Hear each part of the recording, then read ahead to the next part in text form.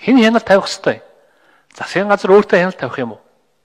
Эсвэл иргэдэг төлөөсөн институт буюу парламент нь хяналтаа тавих хэвтэй байсан юм уу? Өөрөөр хэлэх юм бол парламент нь хяналтаа тавьж чадаагүй юм аа.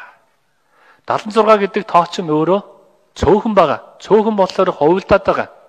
Хулгай үүсэж байгаа. За энийг манай энэ ажлын хэсэгт орсон бас судлаач нар хэлнэ. Тооны хүмүүс бол хэлнэ. Хувилдааны онлоор тухайн шийдвэр гарч байгаа олонлог 120-оос доошоо байх юм бол хувилдаан үүсдэг хулгай гарсан байна. Гардгийн байна гэд. Олон улсын парламентын түүхүүд бас юм байна. Хэрвээ тухайн шийдвэр гаргач нь 120-оос доошоо байх юм бол авилга хулгай нүүрлээд байдаг.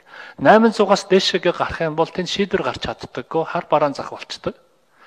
Маш энгийн жишээ энэтхэг байгаа. Хүмүүс ингээд дор чанд гişүнэ Монгол бас ердөө 3.4 сая хүн амтай. Гэтэл хятадыг хар, энтхийг хар. Эдэртэй харьцуулах юм бол монголчин нэг 5 10 л гишүүнтэй байх ёстой шүү дээ. Харин ч буулга гэдэг юм ярьдаг. Гэтэл хятад бол парламентын засаглалтай орн биш ээ. Энтэг бол мөн 1.3 төр хүн амтай. Гэтэл энтэг нийт парламентын гишүүд 800 788 байгаа юм ба. А яг ингээд хуулиа баталдаг 545 гишүүнтэй байгаа.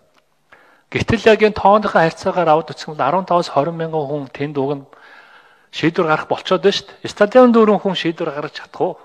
Болдгоо байхгүй юу? Тэгэхээр тоо ч өөрөө учиртай, үндэслэлтэй.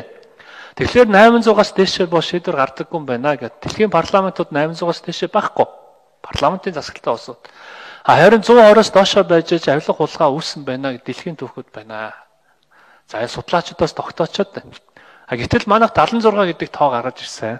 92 онд яаж гаргаж ирсэн юм? Судлаачид гаргаж ирсэн юм уу? Эсвэл олонхороо шийдээд явцсан юм уу гэдгийг архив нь ухаж үзлээ.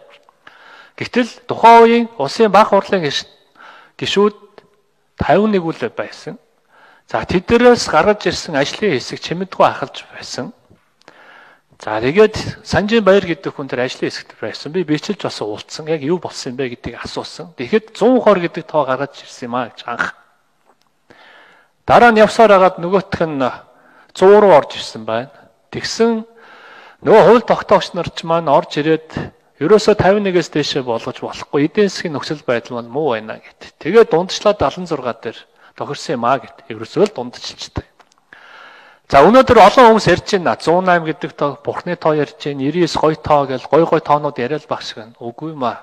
Одоо судалгаан дээр шинжилгээ ухаан дээр үнэлтээ шийдвэрээ гаргах хэрэгтэй хулгайтай байх юм уу? Авилгатай байх юм уу?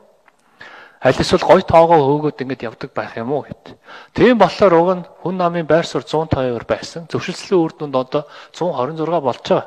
126-аас доошоогоо буух юм бол авилга хулгайч хэвээрээ байна. Хяналт авч чадахгүй.